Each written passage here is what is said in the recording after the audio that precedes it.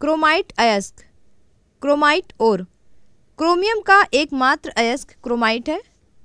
Manganese की तरह chromium का भी उपयोग लौह इस्पात में मिश्रण के लिए किया जाता है।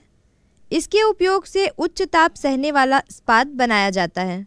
इस्पात में क्रोमियम की थोड़ी मात्रा तीन प्रतिशत मिलाने पर रेती, आरी, कुल्हाड़ी और हथौड़े आदि बनाने के लिए कठोर इस्पात बनता है। इससे थोड़ी अधिक मात्रा 12 से 15 प्रतिशत मिलाने पर ऊष्मा सह घर्षण और संचारण सह इस्पात बनता है, जिसका उपयोग रसोई घर के बर्तन, छुरी कांटा, मशीन की बेरिंग आदि बनाने में किया जाता है। क्रोमियम के साथ निकल मिलाने पर इस्पात में भाप, जल, आर्द्र, वायु तथा अम्ल द्वारा होने वाले क्षरण को सहने की क्षमता आती है। क्रोमियम के साथ टंगस्टन कोबाल्ट और मालिब्डेनम मिलाने से बहुत ही मज़बूत इस्पात तैयार होता है, जिसे स्टेलाइट कहते हैं, जिससे उच्च वेग वाली मशीनों के पुर्जे बनाए जाते हैं। क्रोमियम का उपयोग उच्च ताप वाली भट्टियों में किया जाता है। इसका उपयोग रंग, चमड़ा और वस्त्र उद्योगों में भी किया जाता है। भारत में क्रोमियम का कुल अनुमानित भंडार 1 अप्रैल 2010 में 20.3 करोड़ टन आका गया है।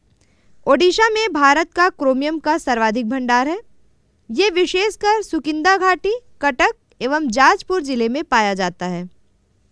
टंगस्टन, आधुनिक धात्विक उद्योगों में मिश्रित इस्पात एलॉय स्टील बनाने में टंगस्टन का विशेष महत्व है।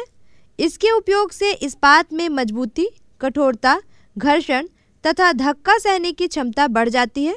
टंगस्टन मिश्रित स्टील का उपयोग उच्च श्रेणी के काटने वाले उपकरण और पत्थर छिद्रक उपकरण बनाने में किया जाता है।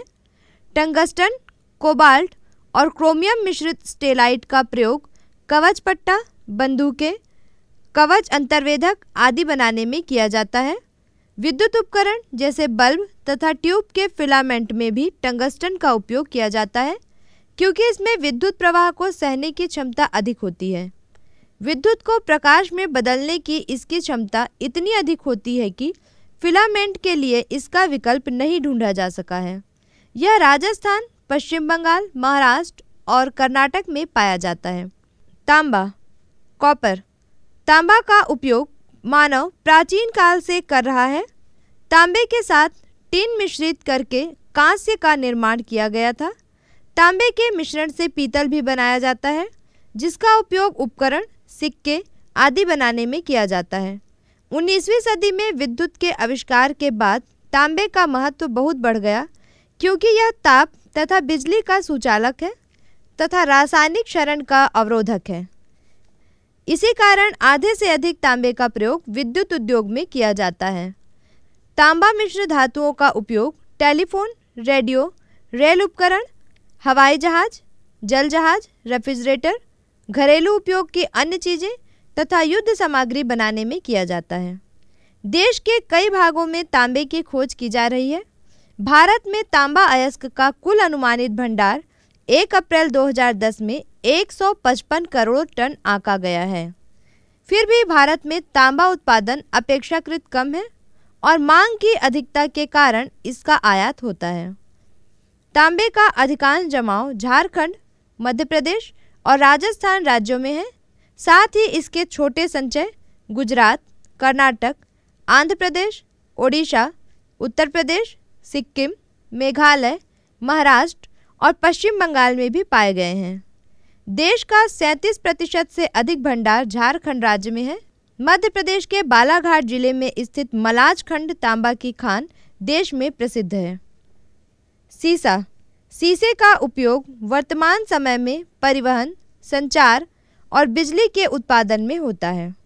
यह भारी, नरम और लचीला होता है। इसका सर्वाधिक उपयोग विद्युत उद्योग में संचालक बैटरी, स्टोरेज बैटरी तथा तार गढ़ने के लिए किया जाता है।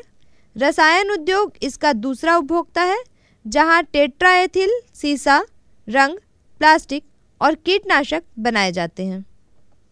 भारत में सीसा अयस्क का कुल अनुमानित भंडार 1 अप्रैल 2010 में 1 करोड़ टन आका गया है।